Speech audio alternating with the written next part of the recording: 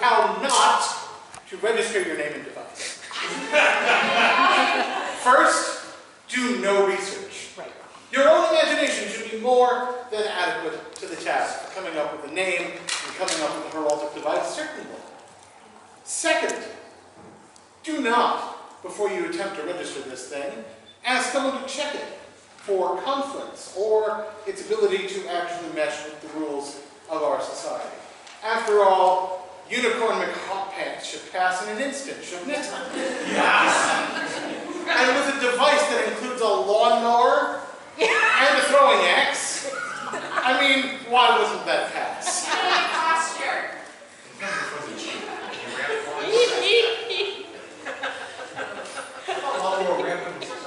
Third, third, do not bother using the proper forms. Who needs forms? Just scribble it down on a piece of paper, draw something in crayon, and send it in. What the heck? Or, you can come see us at the Herald Table between the fits.